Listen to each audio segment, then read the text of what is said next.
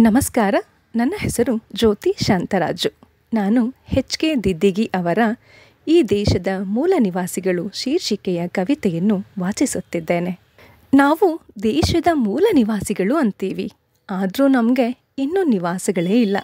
ಉಳುಮೆ ಮಾಡಲು ಭೂಮಿಯೇ ಇಲ್ಲ. ನಾವು ಯಾವಾಗ ಜಮೀನು ಮಾಲೀಕರಾಗ್ತೀವಿ?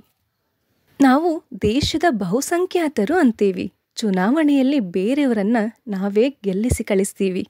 ಆದರೂ ಶಾಸನ ಸಭೆಗಳಲ್ಲಿ ನಮ್ಮವರ ಸಂಖ್ಯೆ ಇಲ್ಲ ಅಂತ ಹೇಳ್ತೀವಿ. ಅಂದು ಬೀದಿಯಲ್ಲಿ ನಿಂತು ನ್ಯಾಯ ಕೇಳಿದವರು ಇಂದು ಕೂಡ ಬೀದಿಯಲ್ಲೇ ನಿಂತೀವಿ.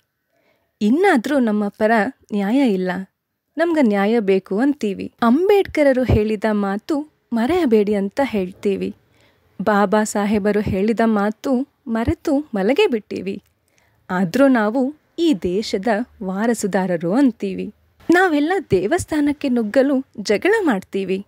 ನಾವು ನುಗ್ಗಬೇಕಿರೋದು ದೇವಸ್ಥಾನಕ್ಕಲ್ಲ, ಲೋಕಸಭೆಗೆ, ವಿಧಾನಸಭೆಗೆ ಅಂತ ನಾವು ಯಾವಾಗ ತಿಳಿತೀವಿ? ದುಡ್ಡಿದ್ದಾಗ ನಾವು ನಮ್ಮವ್ವ, ಹುಲಿಗೆಮ್ಮ ಎಲ್ಲಮ್ಮ ಅಂತೀವಿ. ಮಾತೆತ್ತಿದರೆ ಅವಳ ದಯ ಅಂತೀವಿ. ಸವರ್ಣೀಯರಿಂದ ಒದೆ ಬಿದ್ದಾಗ ಜೈ ಭೀಮಾ ಅಂತೀವಿ.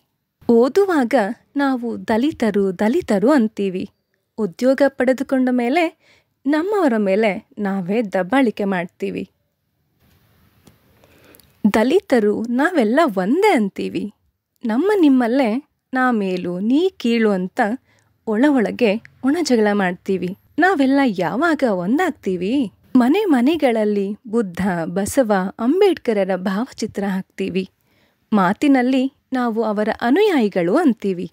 ಅವರ ತತ್ವ, ಸಿದ್ಧಾಂತಗಳನ್ನು ಗಾಳಿಗೆ ತೂರಿಬಿಟ್ಟೀವಿ. ನಾವೆಲ್ಲ ಅಂಬೇಡ್ಕರರ ಆಶಯ ಈಡೇರಿಸೋಣ ಅಂತೀವಿ. ದೇಶವನ್ನು ಬೇರೆಯವರ ಕೈ ಕೊಟ್ಟು ಕುಂತೀವಿ. ದೇಶದ ಅಧಿಕಾರದ ಗದ್ದುಗೆ ಮೇಲೆ ನಾವು ಯಾವಾಗ ಕೂಡ್ತೀವಿ?